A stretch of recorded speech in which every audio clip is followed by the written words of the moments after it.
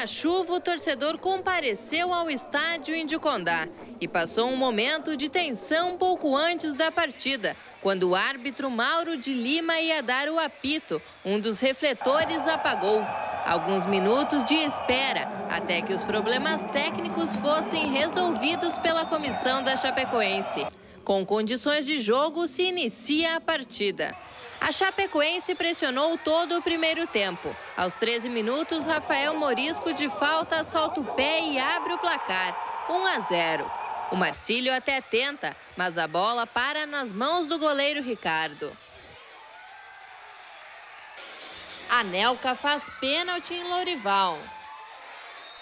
Ele mesmo bate e marca, 1 a 1. No finalzinho do primeiro tempo, Neném cobre o escanteio e Bruno Casarini de cabeça não desperdiça e deixa a Chapecoense na frente.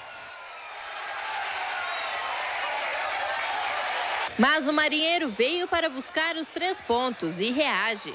Lorival de cabeça o jogo tudo igual, 2 a 2. Mas o William